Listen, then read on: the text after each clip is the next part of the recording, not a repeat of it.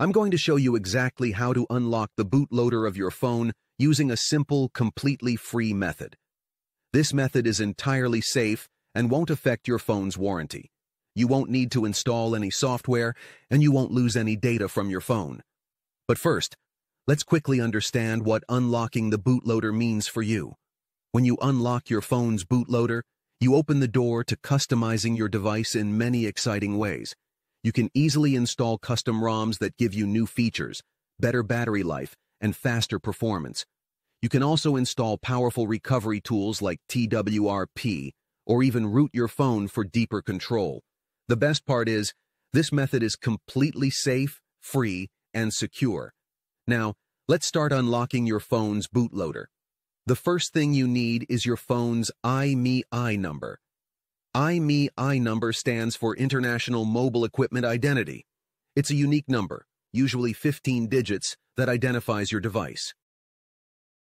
On this website, you can unlock the bootloader of your phone. The bootloader will be unlocked using your device's IMEI number.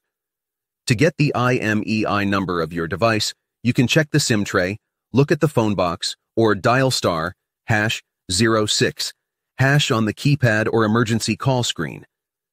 Next, complete a short form on the website, including your phone's exact model, IMEI number, and a valid email address.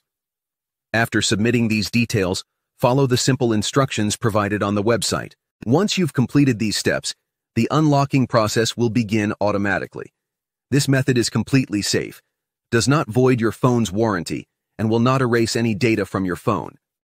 After the unlocking process is complete, your phone's bootloader will be unlocked and you'll have full access to your phone to do whatever you want.